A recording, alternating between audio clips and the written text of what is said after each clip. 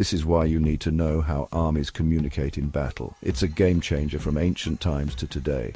From ancient times to modern warfare, communication has been the backbone of military success. In ancient battles, signals like flags and drums conveyed crucial orders.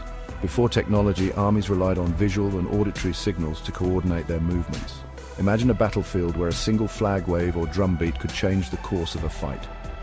Fast forward to the 20th century, world wars brought massive advancements. The advent of radios and field telephones allowed real-time updates between commanders and troops. Vintage radios crackled to life, transforming strategies and saving countless lives. Now, on today's battlefield, things have become even more sophisticated. Soldiers use encrypted radios, satellite phones and advanced headsets. Secure and instant communication ensures mission success and minimizes errors. It's like having a superpower in your ear. But the future, it's even more mind-blowing. Advanced AI systems and drones now play critical roles in relaying real-time intelligence directly to troops on the ground. AI and drones are shaping the future of military communication, providing live feeds and precise data to soldiers in the heat of battle. From simple flags to sophisticated AI, the evolution of communication defines how wars are fought and won. Communication, the key to victory. Like and subscribe for more military insights.